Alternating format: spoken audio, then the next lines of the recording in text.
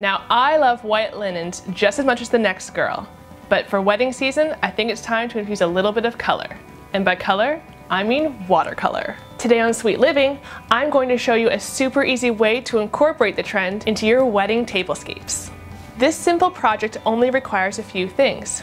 First, some plain white napkins, but they have to be cloth. Two colors of watercolor paint, and I recommend using colors that are already in your wedding day decor. And then finally, two water spritz bottles. Start your project by protecting your surface. You can use a sheet of plastic or you can use newsprint.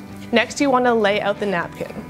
Then, using your spritz bottles, fill them about three quarters full with room temperature water. Next, you can add in about one to two pea size of the watercolor paint, one color in each bottle. Shake them really well, and then you can start spritzing the napkins. Do it in kind of a random pattern to make it look more organic and more like blending into one another.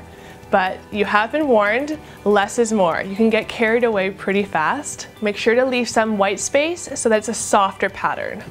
Wait for them to dry, and when you're all finished, you'll have one-of-a-kind napkins that will really set off your wedding decor. If you like these watercolor napkins, be sure to check out the links below for more fun projects and follow me on social media for DIY and design fun.